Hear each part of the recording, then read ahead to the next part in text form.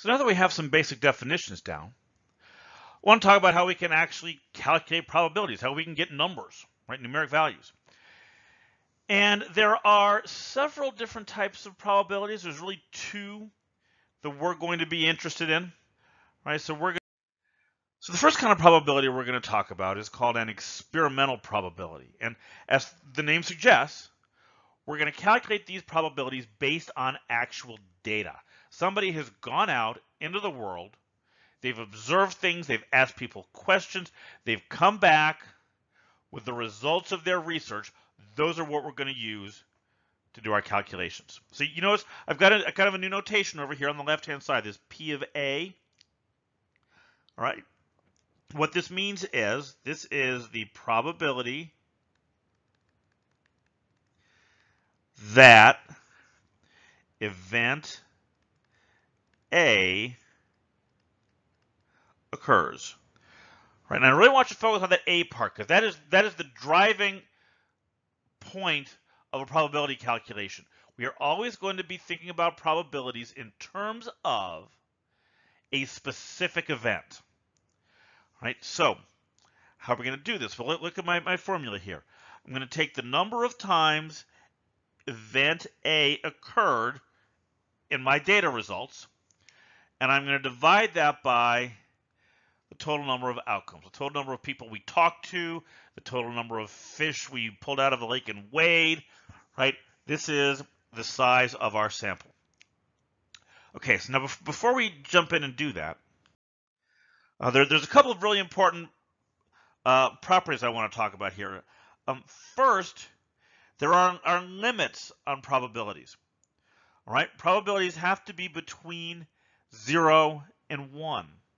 Right, and, and to see why, let's think about our formula. The probability of A equals number of times A occurred divided by total number of outcomes. Okay, so first, the total number of times that A occurred has to be less than or equal to the total number of outcomes. Right? You, you go out and you ask, you ask people a yes or no question, for example. The number of people who said yes has to be strict, has to be less than or equal to the total number of people you talked to.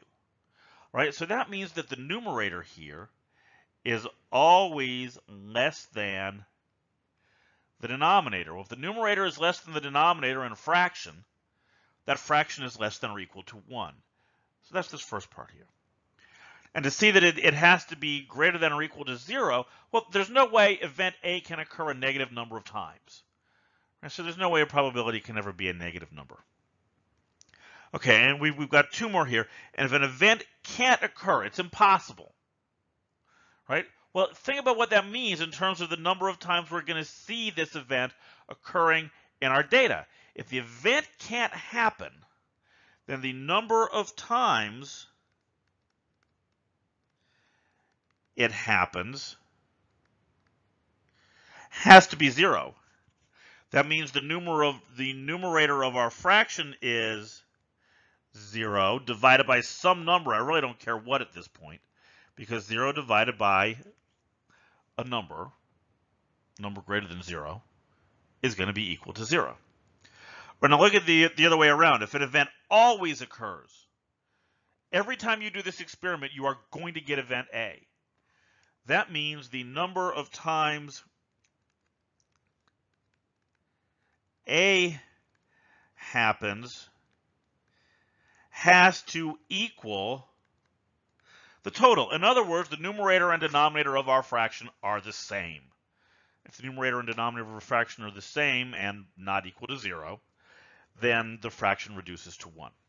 All right, three important rules here, and I, and I really want you to file this first one away. All right, that first one's going to come back. We're really going to get some mileage out of it as we go along. Okay, so let's look at some let's look at some data. Right, a pollster stands outside the Magic Castle at Disney World and asks people how many people they came with. what's the size of their party? Right, and he gets the following results. Uh, there were 15 people who were there by themselves, 37 who were just there with someone else, Uh, 52 and 78, you're getting up into families, groups of three and four. So I want to know what is the probability of two. In other words, if I go out and I randomly pick a person from the park, what is the probability that that person came in a party of two? And remember our formula. This is the number of parties of two divided by the total number of parties in the data. Well, how many parties of two were there? That's right here. There were 37. And how many were there all together? Well, let's just add up your numbers. Right, that's 10, 17, 22, uh, 6, 11, 18, 37 out of 182. Okay, now, most of the time, I would say that's a perfectly good answer. There's nothing wrong with a fraction for an answer and leave it alone. Okay, but statistics is, is kind of one of those exceptions in the math world. It is fundamentally a practical subject. Right? And and I always tell my tell my students there there are two exceptions to when you should leave your answer as a fraction. Right? One of them is you're graphing something, because graphing 32 fifths I don't know where that is. You make it into a fraction, into a decimal, and it's easier.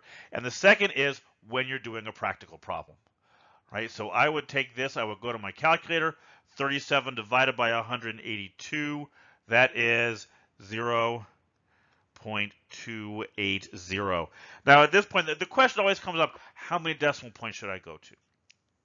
Well, uh, this physics guys, the science guys, they've got all sorts of rules about significant digits and this and that. I usually just go out to three decimal places, right? Three decimal places is usually going to, for, for our purposes, for, know, for mathematical purposes, that's usually going to give us a sufficient level of accuracy. All right, so let's try another one here, right? Pollster data, same data, right? Guy standing outside the Magic Castle. Um, what's the probability of getting a group with more than two people? Okay, well let's let's let's write it out. Get get get some practice with our notation. Probability x is greater than two. And again, I, I, keep adding notation here, right? In statistics, when we talk about x, this generic variable x, this refers to an individual data value. So what I'm saying here is what is the probability that a randomly selected individual is a member of a group with more than two people. Well, let's apply our formula again. This is the number of groups with more than two people divided by the total number of groups. Well, the denominator hasn't changed, although I forgot what it was. The denominator is, sorry, 10, 17, 22, 6, 11, 18, 182.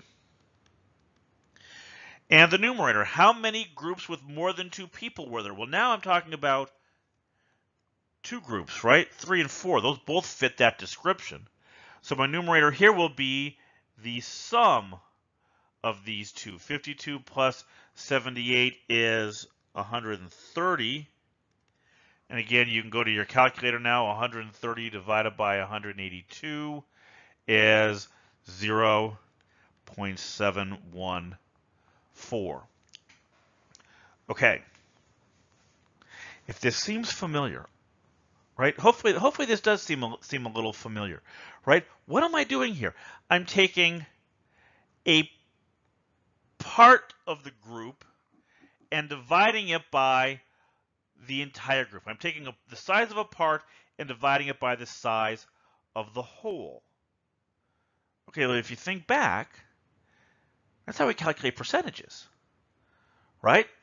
The size of a section of a, of a pie chart divided by the total, right? That's how we calculate a percentage. And that's exactly what these probabilities are, right?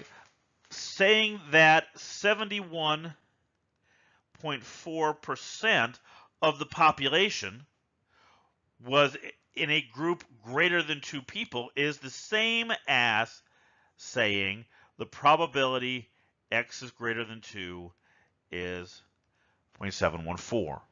Right? These probabilities and percentages really are interchangeable with each other. Okay, so what's next? There, there is another kind of probability. Right? This, this was a, an experimental probability. There's another kind called the theoretical probability, and that's what we're going to talk about in the next lecture.